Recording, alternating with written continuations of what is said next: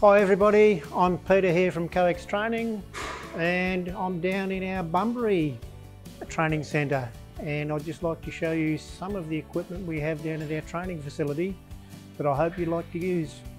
In our simulated switching exercises we actually get to switch real high voltage electrical equipment.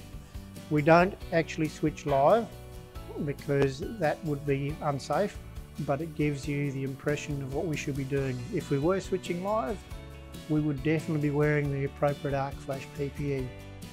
Some of the equipment we've got in sight is the Merlin Gerin ring main fuse switchgear. We've also got some Yorkshire SF6 switchgear that is rackable and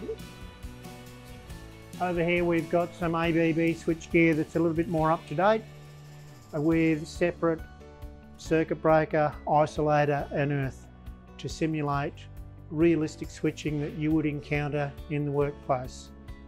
We also have examples of ring main switchgear which is very common throughout industry and dropout fuses all located in our realistic simulated high voltage substation all set up at the Bunbury facilities. Thank you.